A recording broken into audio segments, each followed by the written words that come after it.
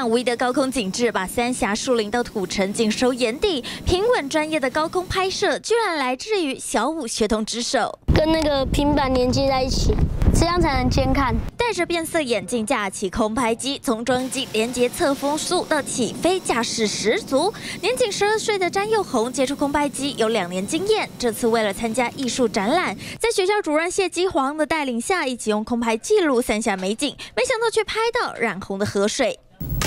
照片中山岚下的树林，紧邻清澈大汉溪，但一旁的三峡河却染成暗红色，看起来触目惊心，也引发附近居民挞伐。三峡河的污染已经有好几年了，主要都是来自上游染整厂的排放废水。其实很难过，因为这样就就不能有清澈的河流，还有有一些小生物们都会死掉，会灭绝。